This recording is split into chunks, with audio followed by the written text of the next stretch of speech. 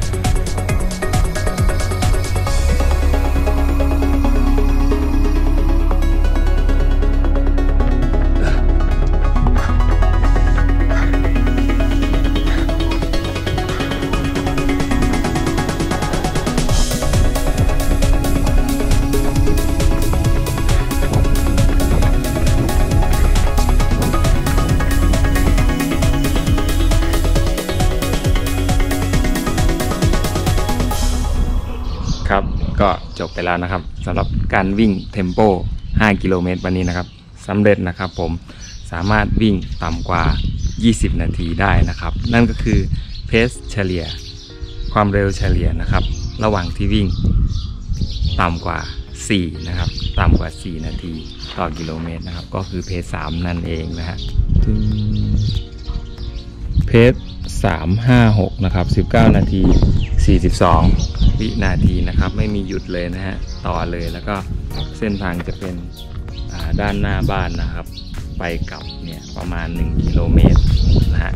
ก็จะมีเนินด้วยขาไป แล้วก็ขากลับก็จะเป็นลงเนินนะครับสลับกัน เพราะฉะนั้นเนี่ยการฝึกซ้อม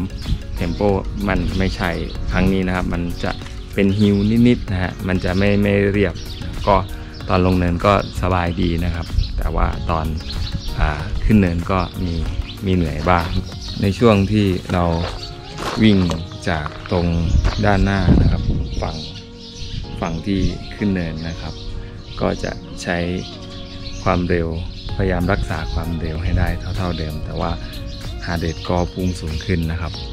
คือผมพยายามกดเพสให้ได้ต่ำกว่า 4 ตลอดนะครับ ในช่วงที่ขึ้นเนินก็ฮาร์ดเรทก็พุ่งขึ้นสูงประมาณ 180 กว่านะครับ แล้วก็พอ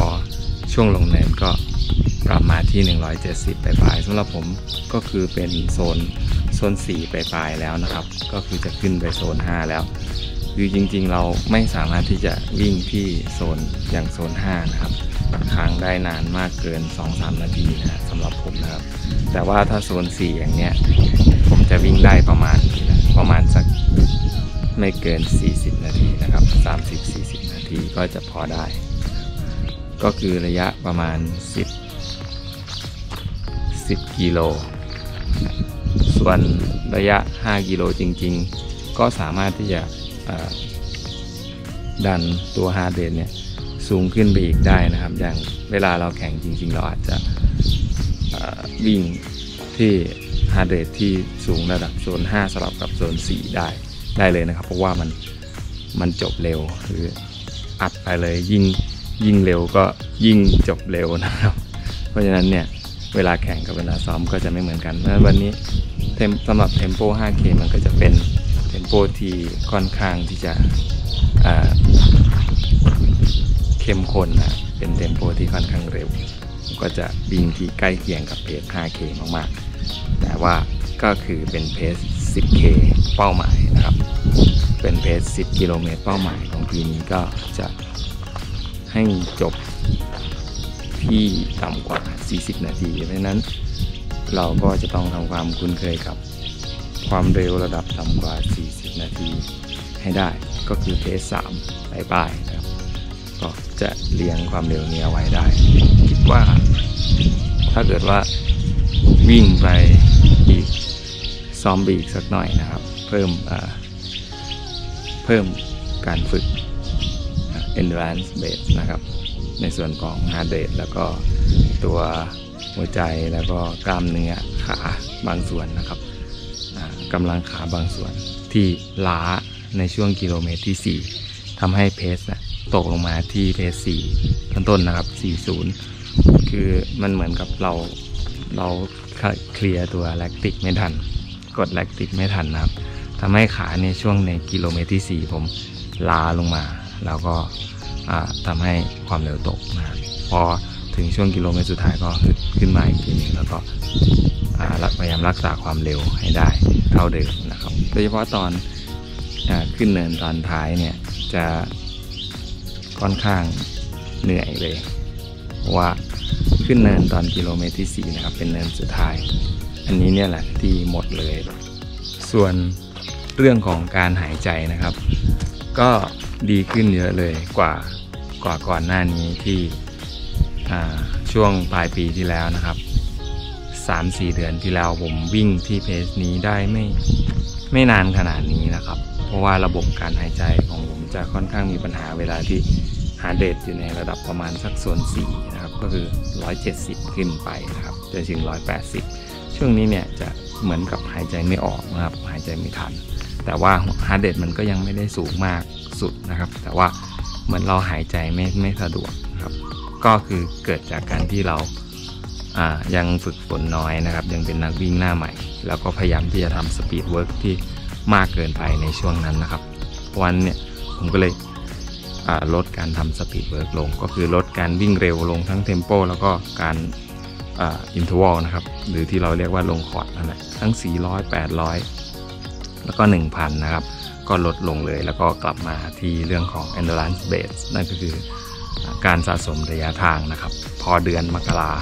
พอเดือนธันวาผมไปวิ่งมาราธอนมาก็พักทั้งเดือน แล้วพอเดือนมกรานะครับ ถึงมีนาก็เริ่มสะสมไมล์เลทขึ้นมาใหม่นะครับ เพิ่งจะได้มาพักที่เดือนเมษายนนะฮะก็สะสมระยะทางทั้งเดือนเนี่ยประมาณสัก 300-400ถึงกิโลเมตรนะครับ พอเดือนเมษาเนี่ยก็ลดลงเหลือประมาณ 200 นะครับ แล้วก็พฤษภา มิถุนากรกฎาก็จะเป็นเดือนที่ไมล์เลทก็จะสูงขึ้นไปอีกนะครับ อาจจะแตะ 400 ครับ 400 ขึ้นไปครับ แต่ว่า 90%ก็คือเป็นโซน 2 ทั้งหมดนั้นเนี่ย การฝึกแบบนี้นะแบบที่ฝึกวันนี้ก็ไม่ได้ทำบ่อยสัปดาห์หนึ่งเนี่ยประมาณ 1 ครั้งนะครับ แต่ว่าก็คือสลับกันไป เช่น สัปดาห์นี้ tempo เป็น fartlek นะครับ สัปดาห์ที่แล้ว tempo เป็น fartlek ก็คือวิ่งสลับเร็วสลับช้าใช่ไหมครับ สัปดาห์นี้เป็น tempo 5K นะครับ ก็อย่างที่วิ่งไปเมื่อสักครู่นะฮะ แล้วก็สัปดาห์หน้าก็จะเป็นเทมโป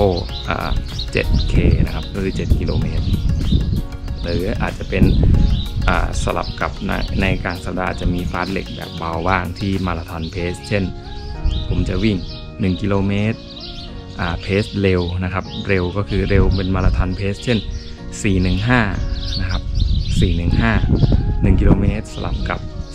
445 นะครับอีก1กิโลเมตรเป็นกิโลเมตรที่ 2 กิโลเมตรที่ 3 ก็กลับไปที่ 415 ใหม่สลับกันไปเรื่อยๆนะครับ ก็จะเป็นการฝึกฟาสเล็กแต่ว่าสำหรับวันนี้นะครับเทมโป 5K สับ 20 นะครับ หรือว่า วิ่งต่ำกว่า 20 นาทีนั้นสำเร็จนะครับผมเย่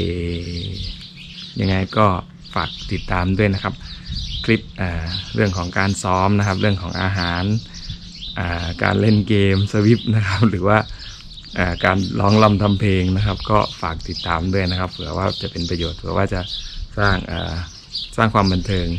ให้กับผู้ติดตามด้วย ก็ยังไง ฝากช anel นะครับรันวิสาไว้ด้วย หวังว่าจะเป็นประโยชน์ครับ แล้วก็ฝากติดตามคลิปต่อๆไปด้วยนะฮะก็จะมีเก็ดเล็กเก็ดน้อยเกี่ยวกับเรื่องการซ้อมของตัวผมเองนะครับ ขอบคุณมากครับ สวัสดีครับ